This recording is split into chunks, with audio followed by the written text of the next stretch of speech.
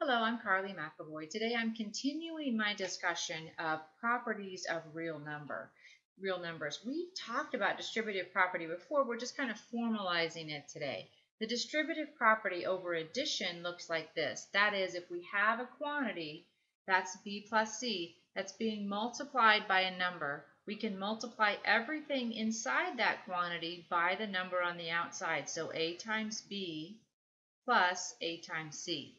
I had a subtraction sign in there, I, I would have to be concerned about that subtraction sign and making sure I get the sign correct. I think it's easier to look at that just in symbols than to say it, but if you want to know how I would say it, I would say this. If a number is multiplying a quantity, you can clear the parentheses by multiplying that number by each term inside the parentheses. That's what the distributive property allows you to do is to clear the parentheses. That's what it's all about. Okay, use the distributive property to simplify. So we've done some of this before, so I think you could probably do it. But I'm going to tell you something. Make sure you practice, especially with distributing a negative and distributing a fraction. You might want to shut this off, try it, and come back and see how you did. Okay, I'm going to take 7 times b plus 7 times c. That's all the distributive property does. Now I have this common factor of 7 in there because I just multiplied everything by 7. In this next one, I'm going to multiply negative 2 fifths times 3. Think of that as 3 over 1. Negative 2 times 3 is negative 6 and 5 times 1 is 5, and I have a y there, so I could just multiply those two fractions. You can use your calculator, you can do it off to the side, it's up to you. And then I'm going to multiply this like 4 times 1. So on the top I have negative 2 times 4, which is negative 8. I'm going to write that as subtract 8. Remember, I can always write subtraction as a negative if I want to. And 5 times 1 on the bottom is 5. So now I have distributed that negative 2 fifths through there. So now they have a common factor of two, negative 2 fifths in there. I could take that back out, but notice that I got negatives in both because I had a common factor that I was multiplying by with a negative. And here, if I have a negative and I want to distribute, I have to remember that that's actually a negative 1. Negative 1 times y. What does a negative 1 do when you multiply? It just changes the sign. So instead of y, I have the opposite of y, which I'm going to call negative y. Instead of negative 2, here I've got negative 2 times negative 1, or the opposite of that, which is positive 2. And here, instead of a minus 3p, my sign's going to change, and that's going to become plus 3p. Notice I didn't change the values, I changed the sign though, because I'm multiplying by 1. The numbers themselves stay the same while their sign changes.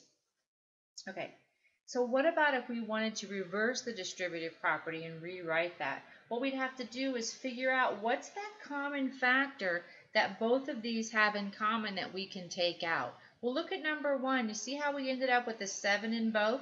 Now we're ending up with a 7 in both here. All we'd want to do is rewrite that by putting that out front.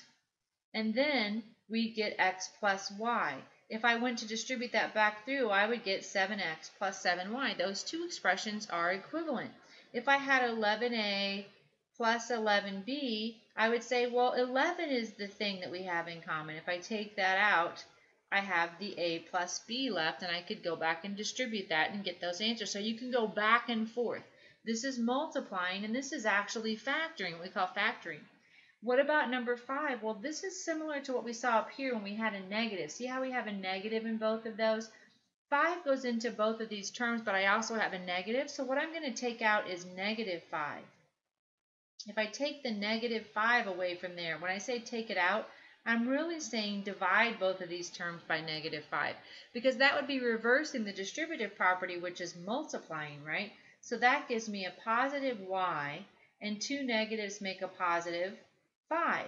Would that be the same? Well, negative 5 times y would be negative 5y, yes. And negative 5 times positive 5 would be negative 25, yes. So we can reverse the distributive property if we want to, and that's going to be something you do in another class later on, but I wanted to show you how they were related.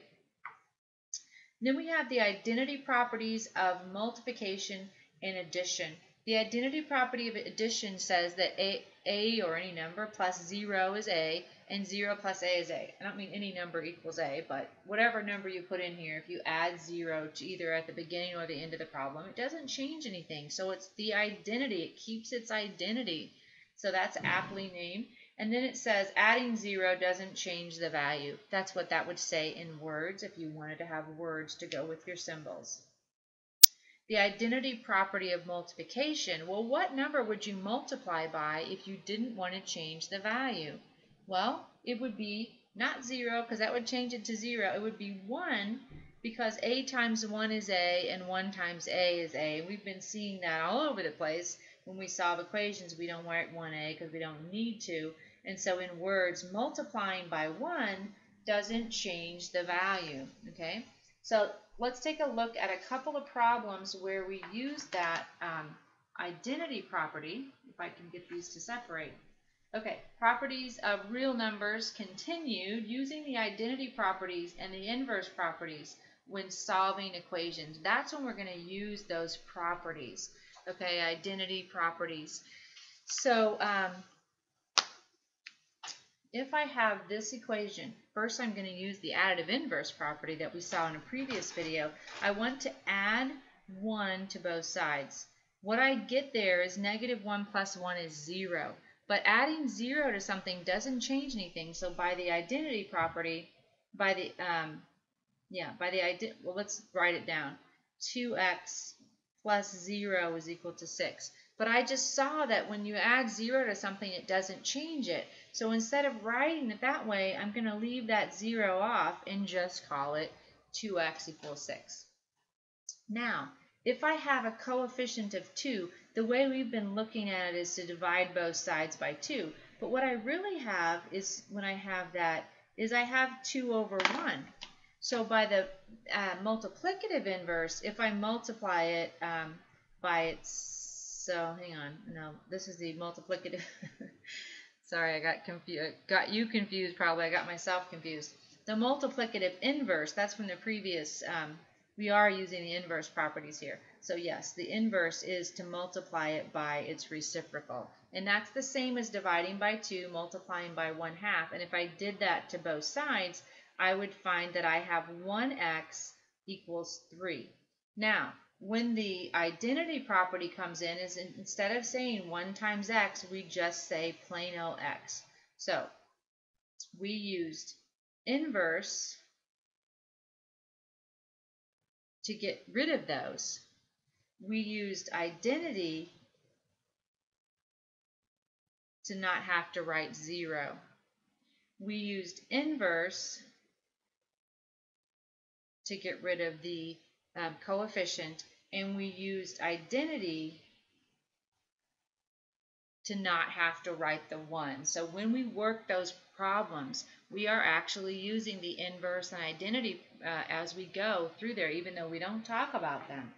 Okay, let's do that again. If I want to solve this, I have to use the inverse, which says that additive inverses, when you add inverses, you get 0 but I'm not going to write the 0 because of that identity property that says you don't have to write 0, so you just have 2 thirds y equals 3. Then I'm going to get rid of the coefficient by using the multiplicative inverse, which says if you multiply something by its reciprocal, you always get positive 1. And then I'm going to rewrite that one last time just as y because the, the identity property says if you multiply by 1, you don't have to even show it because multiplying by 1 doesn't change the value.